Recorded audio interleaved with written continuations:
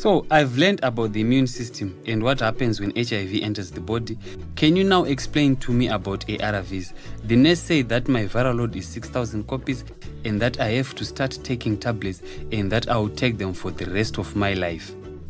So this is what you have to know. ARV stands for antiretroviral medicine. This means a medicine which works against the HIV virus. Without treatment, HIV will damage the warriors or CD4 cells meaning the immune system gets weak and can't fight off infections. So, someone living with HIV who is not on treatment will get sicker and sicker and develop AIDS. But the good news is we now have ARVs. ARVs control HIV by stopping it from multiplying in the CD4 cells. If HIV can't multiply, the amount of HIV or viral load becomes less. The goal is for the viral load to become undetectable, meaning that it can be seen in the blood in laboratory tests. When the viral load is undetectable, the CD4 cells are protected, so the number of CD4 cells gets higher. Hmm. So, will these ARVs get rid of the HIV completely? That's a very good question. The ARVs do a great job of controlling HIV if they are taken as prescribed every day, but they cannot get rid of it completely.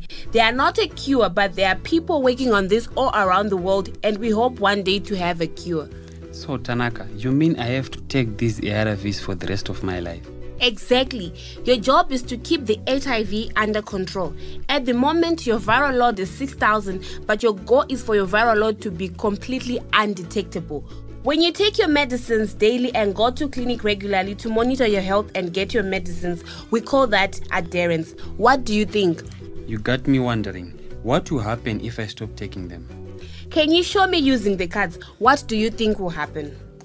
If I stop taking my tablets, there will be no control over the HIV, so the virus will start multiplying and my viral load will increase.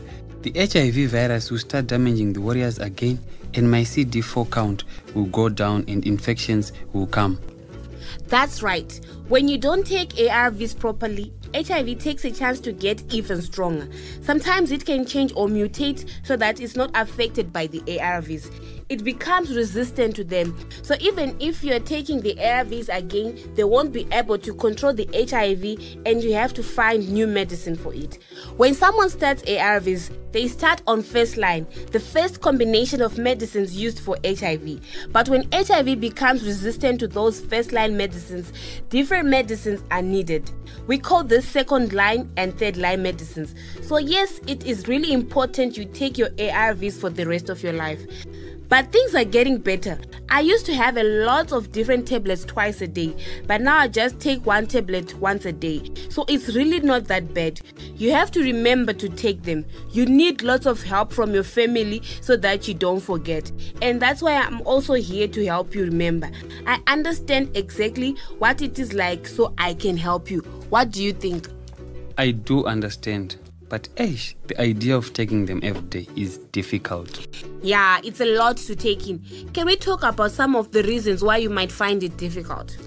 Well, I think I'll find it hard to remember. My mom goes to work early, so she may not be around to remind me. And also, she's the only one who knows my HIV status at home. I hide my tablets so that no one else finds out. Yes, it is tricky. You have thought of two really important issues. Firstly, you may find it difficult to remember, particularly if your mom is not around to remind you. The second thing, you will have to hide your ARV so others don't find out your status. Let's think about what might help you with these things. Can you think of something that could help you with remembering to take your medication? Mm, I have a phone, so I could set my alarm. That's a great idea.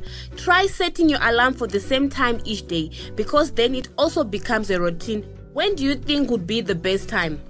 Probably when I brush my teeth before school, so that's about 6 a.m. Okay, great. So that's one solution. Then, of course, I can send you reminders to your phone. I won't mention ARVs in case someone picks up your phone and reads the message. I'll just say, please don't forget. Then, you also say that at times you have to hide your medicines. Yeah, so that no one finds out.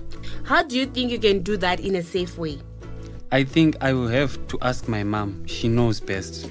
Okay, Tonde, so you have some things you can try. Let's see how you get on with this and we can discuss how it's going when I see you next. The important thing to remember is that you are in control and can control HIV if you take your medicines well. If you have other questions you think of, you can always message me or we can talk next time I come. How's that? Yes, I'm sure I'll have more questions next time. Well, for today, I think we've covered so much. When shall I come again? Mm, can you come on Wednesday after school? That's fine. I'll come then. Then we can discuss other questions you have and I'll also tell you more about the medicines and give you some ideas on how to help you with adherence. I would also love to see you explain what you know about HIV and how it affects the body and the importance of adherence. If you'd like to meet other people your age who also take ARVs, I can help arrange that too. So let's talk about that next time. Okay, see you next week then. Great. See you then.